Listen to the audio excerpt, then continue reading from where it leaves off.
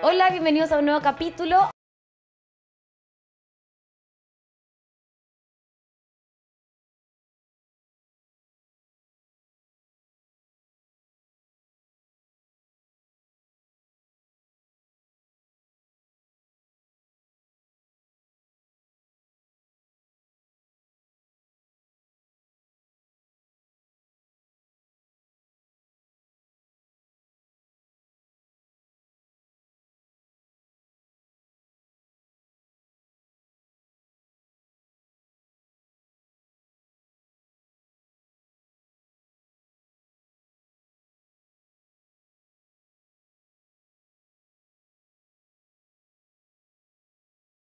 Vamos a preparar es que una carne con la salsa de chocolate y le sirve cuando tengan invitados para una comida romántica, para cualquier cosa especial o cuando quieran sorprender a alguien.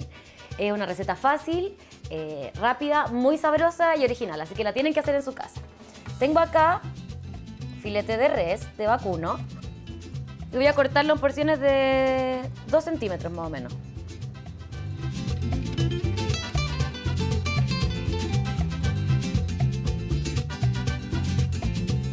Recuerden que todo depende de cómo le guste a usted la cocción de la carne. Acá voy a hacer dos tipos. Voy a cortar uno más delgado, que es este, que este lo voy a dejar cocinado a tres cuartos y este en el mismo tiempo va a quedar a punto. En el fondo es para, para que salgan los dos al mismo tiempo. Una vez que tenemos trozados nuestros filetes, en un bowl vamos a mezclar. esta va a ser toda la gracia de... Aquí empieza el show de, de la carne. Cacao en polvo. En el fondo vamos a hacer una costra y vamos a adobar la carne un poco de sal, pimienta, café instantáneo. Como ven son muchos sabores intensos. Es ideal que esta carne la acompañen con, un, con algo simple, con verduras salteadas, con puré, con quinoa, con algo que no tenga mucho, mucho sabor porque todo el sabor está aquí, en la salsa y en la misma carne. Este es nuestro protagonista. Entonces vamos a pasar los filetes por esta mezcla, que quede todo bien, bien impregnado. Y luego vamos a sellar en una sartén bien caliente, bien, bien caliente, cosa que se forme una costra.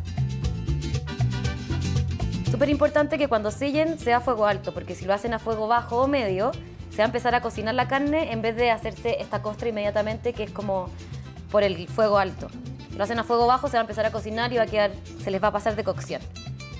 Miren, tiene un aroma esto.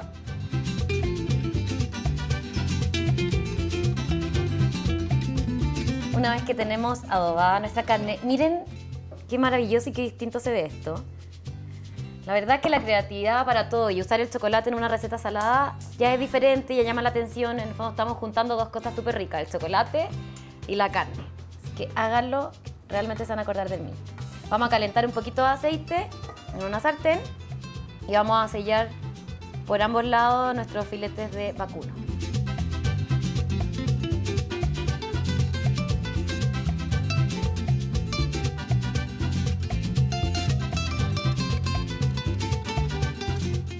Una vez que están bien sellados nuestros filetitos, los vamos a dejar en un plato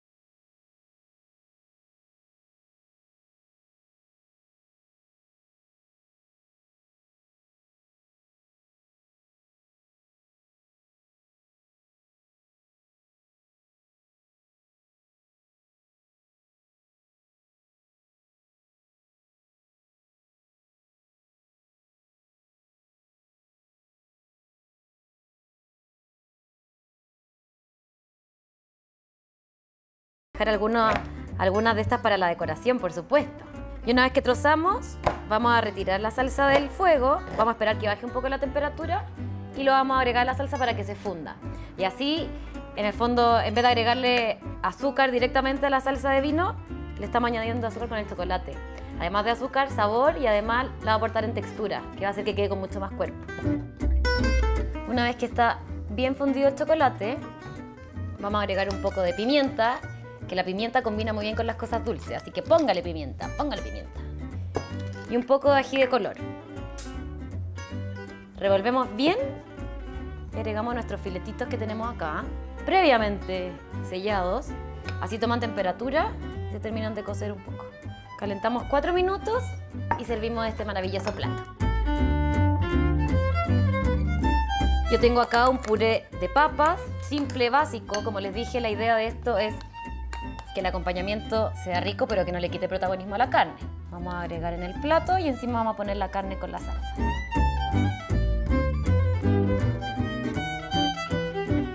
Llegó el momento de probar esta exquisitez, es demasiado rico, el aroma aparte está increíble. Bueno, la carne está en el punto que a mí me gusta. Yo sé que hay mucha gente que le gusta tres cuartos, pero la cocina un rato más. No se complique. Voy a comer con los trozos de chocolate. Recuerden que está la salsa de chocolate. Y el puré que también, al ser más neutro, ayuda a, equilibrar los sabores. Como que no queda hostigoso. Mmm. Mmm. Está increíble, tienen que hacerlo en su casa. Es un sabor muy diferente, algo nuevo. Eh, atrévanse, una receta fácil, rápida y perfecta para cuando quieran sorprender a alguien. Se van a acordar de mí.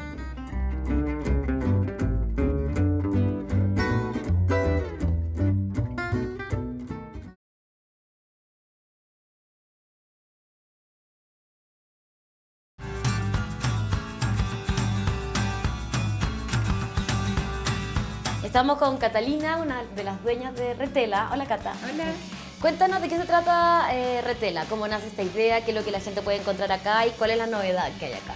Claro, mira, la idea partió porque con mi marido nos fuimos a ir juntos en la universidad y buscamos un lugar para poder eh, decorar y la verdad es que no, no encontramos algo choro, los dos somos publicistas, entonces las pocas veces que encontramos imágenes, canvas, que son lo que los canvas impresos, eran todos feos, pixelados y todos repetidos. Entonces, por trabajar en el rubro, encontramos la posibilidad de imprimir nuestros propios canvas. Nos pusimos en el departamento y nuestros amigos empezaron a pedir y todo, empezamos a subirlo al Facebook y ahí después como que dijimos, abramos una tienda para probar y empezó a funcionar. Bueno, canvas eh, son las telas eh, de pintura, en el fondo lo que uno le dice tela o bastidor. Canvas en inglés. Claro. Canvas es la palabra del tensado. Es como un, tela algodón. Es una tela muy parecida que se usa para pintar, pero es especial para ser impreso. Claro. Y ahí tú lo puedes hacer personalizado o con las imágenes que nosotros tenemos a disposición. Vamos a ver lo que hay acá de Canvas. Vamos a ver. Lo importante es que la imagen esté en buena calidad que si se preocupen de, elegir una imagen, puede ser celular, porque hoy en día estamos todos usando celular, pero que no venga subida desde Facebook y después traspasada, sino que sea directo de enviada. Puede ser a través de la página web, las dos tiendas pueden venir a dejar las, las imágenes, o a través del mail y se hace todo el pedido y una vez que ya se concrete se demora una semana. Solamente el límite son la creatividad de cada uno y dependiendo de lo que quiera lo que quiera imprimir. Puede ser una foto dividida en tres, puede ser varias fotos y armar un color separado o puede ser hasta una foto de un viaje, etc. Los invitamos a las dos tiendas que tenemos en el Barro Italia y en el Dragster y también mencionar que la página web está en su mejor momento, tenemos hartos productos para que puedan mandar a hacer online también personalizados. Arretela acá en el Dragster, vengan. Como ya terminamos de remodelar mi cocina, ahora me toca remodelar el taller. Esta como especie de salita que tengo donde hago las manualidades, como mi escritorio. Entonces quiero renovarlo y voy a comenzar con esta bella pared. En el fondo que ya los colores siempre cansan, al final todo es bonito, pero uno se agota, quiere modernizarse un poco, estar con tendencia y eso. Entonces lo que voy a hacer hoy día, vamos a hacer una especie de stencil, lo vamos a hacer con esta cosita, esto que es como los manteles de las tortitas, que es de papel. Si no tienen esto lo pueden hacer con encaje. En el fondo nos va a servir de molde y no tenemos que cortar la figura, sino que ya viene lista. Entonces eso es lo, lo entretenido. Entonces, con este molde Lo voy a pegar acá y voy a ir pintando la figura alrededor con spray de tres colores. En este caso, como el fondo es celeste y siguiendo también la línea de mi cocina, vamos a usar dorado. Le voy a poner blanco porque el fondo está celeste y también más celeste para potenciar. Esto lo pueden hacer, por ejemplo, con un mueble. Consiguen de estas más chiquititas y también pueden hacerlo con un mueble, con una silla, con cualquier cosa de madera o metal, porque esa es la gracia, que el spray también eh, se adhiere bien al metal. Entonces voy a pegarle un scotch en esta parte a este molde. Voy a hacer ese típico circulito para que así no interfiera en, en los bordes de nuestro molde. Ahí. Y como esto lo voy a poner y sacar, no hay problema. Entonces vamos a partir ahí. Lo voy a pegar y vamos a partir con el dorado. Entonces voy a hacer varios círculos, como quiero darle un estilo vintage, voy a hacer varios círculos que se vayan superponiendo unos con otros. Entonces estoy simulando que es un papel mural. Esa es la gracia.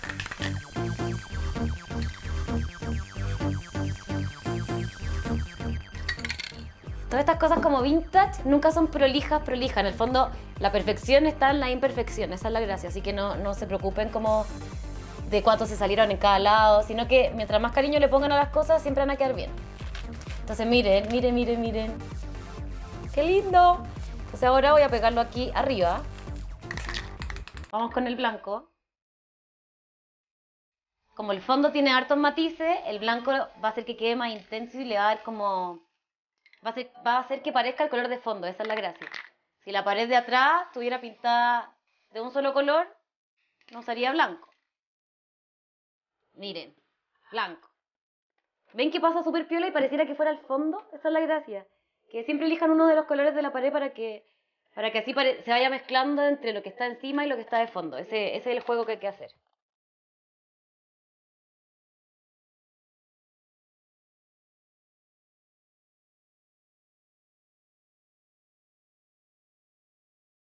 Ya terminé de decorar la pared de mi escritorio. Miren qué bonita se ve.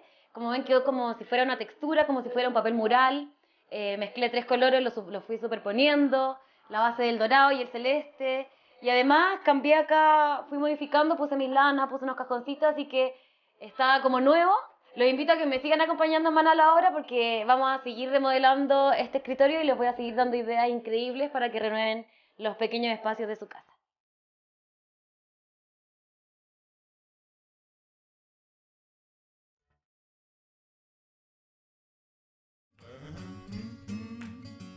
La protagonista de la receta del día de hoy son estas bellas alcachofas.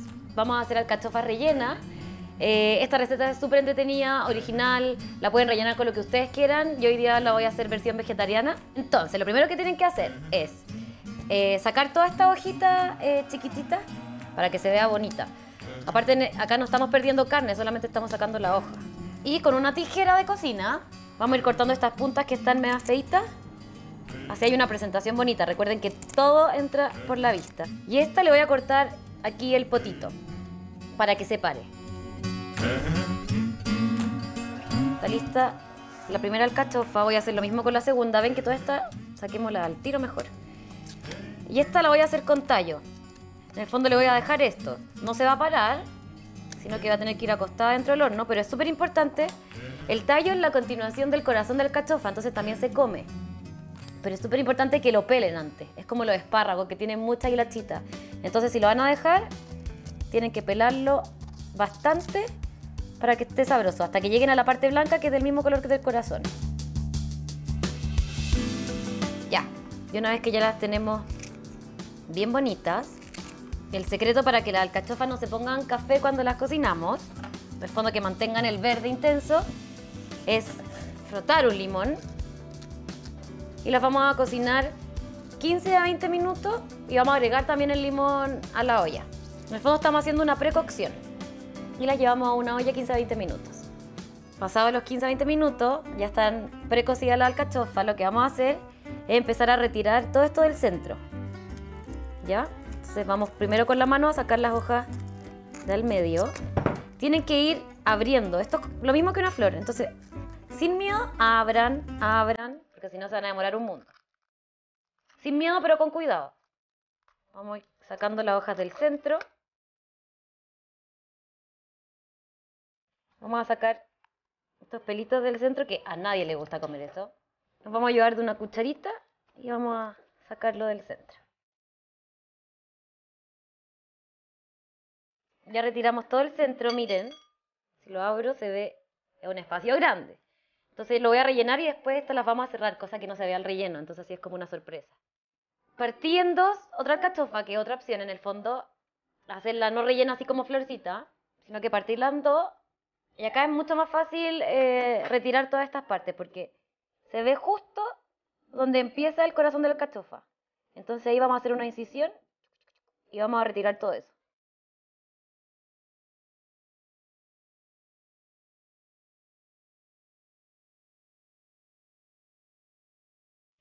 Entonces tenemos las alcachofas listas para rellenar.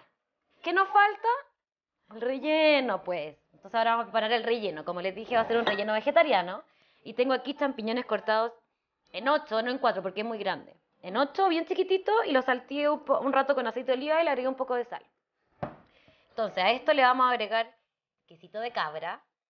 ñami ñami. Le vamos a agregar un poco de crema para que quede un, un relleno más jugosito. Vamos a agregar un huevito, un poco de queso parmesano, vamos a agregar jugo de limón. Recuerden siempre poner la mano para que no caigan las pepas. No le agrego aceite de oliva porque la crema ya tiene materia grasa. Y para potenciar esto aún más vamos a agregar ralladura de limón. Vamos a picar cebollín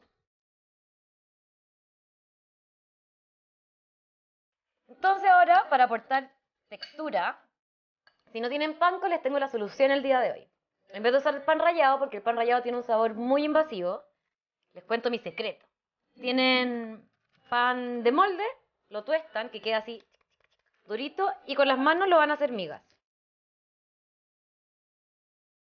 Vamos a salpimentar y empezaremos a rellenar las alcachas.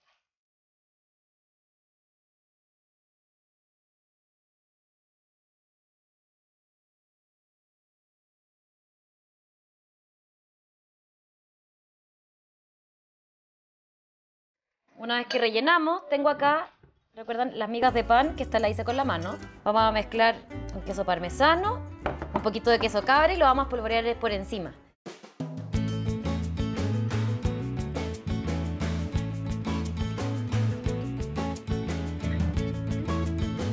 Ya terminé de espolvorear toda esta mixtura de sabores y vamos a llevar al horno entre 15 a 20 minutos hasta que esté bien doradita la costra.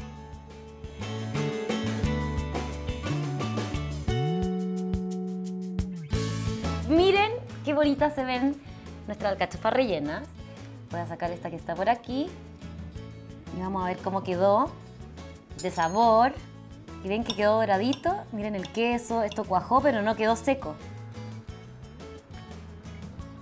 Mmm. Mmm. Se siente el limoncito. Me encanta porque quedaron cocidas al dente. El limón se siente, recuerden que le agregamos jugo de limón a la salsa y ralladura de limón. Entonces le da ese toque